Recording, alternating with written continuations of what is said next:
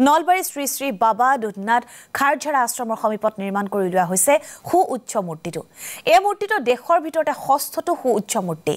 মহালক্ষ্মী সঞ্চয় ঋণদান সমবায় সমিতিয়ে বত্ৰিছ লাখ টকা ব্যয়েৰে শিৱ মূৰ্তিটো সাজি উলিয়াইছে। খনিগড় প্ৰদীপ পাল আৰু তেওঁৰ বিছগৰাকী কৰ্মচাৰীয়ে।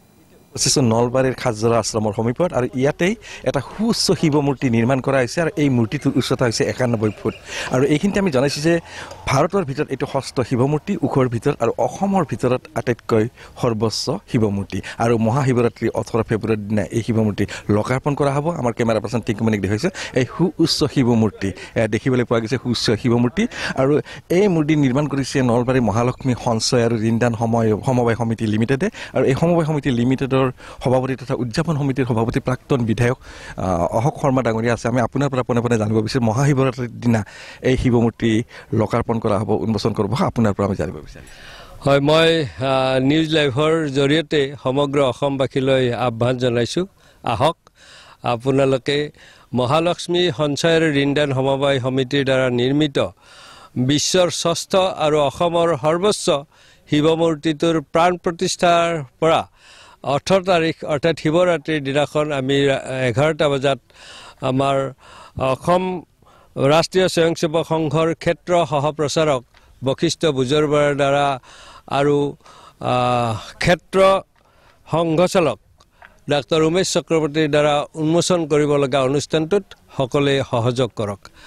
আপোনাৰ পৰা জানিব বিচাৰিম মুঠ কিমান টকা ব্যয় কৰা হৈছে আৰু যিহেতু ভক্ত দৰ্শনাৰ্থীৰ সমাগম ঘটিব তাৰ কাৰণে আপোনালোকে বিশেষ কেনেকুৱা ধৰণৰ ব্যৱস্থা গ্ৰহণ কৰিব? আমি মহালক্ষ্মী সঞ্চয় আৰু সমবায় ঋণদান সমবায় সমিতিৰ সামাজিক দায়বদ্ধতাৰ শিতানৰ পৰা ইতিমধ্যে বত্ৰিছ লাখ টকা খৰচ কৰা হৈছে আৰু প্ৰায় আঠ দহ লাখ টকা আমাৰ এই কামখিনি সম্পূৰ্ণ কৰাত শেষ হ'ব।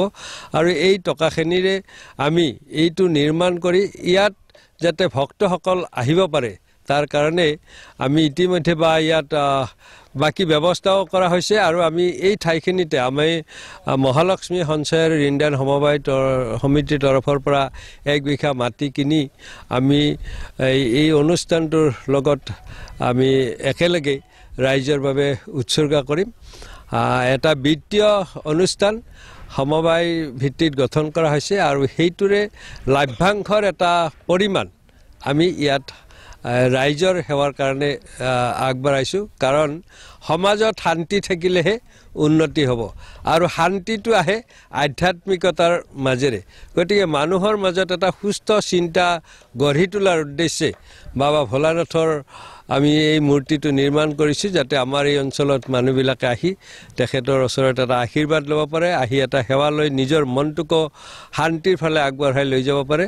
আৰু তেখেতৰ শান্তি তেখেতৰ পৰিয়াল আমাৰ এই অঞ্চলৰ সমাজ আৰু গোটেই জিলা বা ৰাজ্যখনকে আগবঢ়াই লৈ যোৱাৰ ক্ষেত্ৰত এটা গুৰুত্বপূৰ্ণ ভূমিকা ল'ব।